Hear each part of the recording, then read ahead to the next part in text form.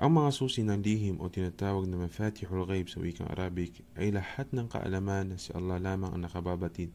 Kaya't wala nakakaalam ng mga bagay na ito maging sa nakaraan, kasalukuyan at kung ano ang darating.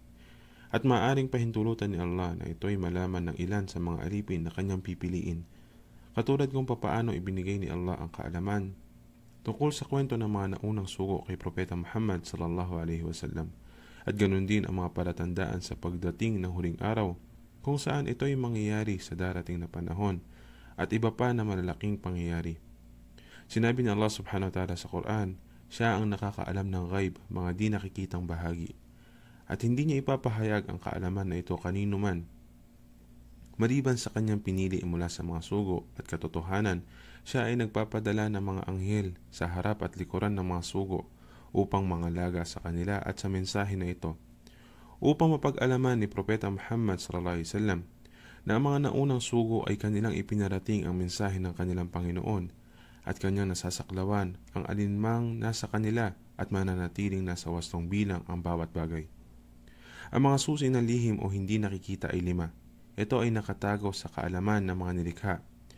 Kaya't walang nakakaalam kailan darating ang huling araw at kung kailan, sa ang lugar at gaano kalakas bababa ang ulan. At walang nakababatid ng detalyeng kaalaman sa kung ano ang nasa sinapupunan ng mga ina maliban sa Allah subhanahu wa ta'ala. Walang nakakaalam kung ano ang magiging kasarian ng mga batang ito, maging ang kanilang biyaya, kailan sila papanaw, ano ang kanilang gawain, at sila ba ay mabibilang sa mga matagumpay o mabibilang sa mga talunan. At walang nakakaalam sa mga kabutihan at kasamaan na gagawin ng mga tao at papaano hinati-hati ang mga biyaya sa sanlibutan. Walang nakakaalam nito maliban sa Allah.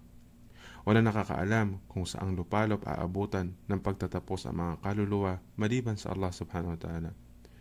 At kung ano ang mga sinasabi ng mga manggagamot at mga eksperto sa mga inaasahang malakas na pag-ihip ng hangin, pagbuhos ng ulan, eclipse ng araw at buwan, lahat ito ay walang kasiguraduhan at maaaring mangyari o hindi, maaaring tama o mali. Bagamat ang kaalaman ng Allah subhanahu wa ta'ala ay sigurado at tumpak, ang kanyang kaalaman ay tutugma sa realidad. Sinabi ni Allah subhanahu wa ta'ala sa Quran, Tunay na tanging si Allah ang may kaalaman sa taktang oras at siya ang nagbababa ng ulan at siya ang nakababatid ng anumang nasa sinapupunan ng mga ina. Walang sino man ang nakakaalam anuman ang kanyang kahihinatnan sa kinabukasan at walang sino man ang nakakaalam kung saang lupain siya mamamatay. Katotohanan, si Allah ang maalam, lubos na kababatid.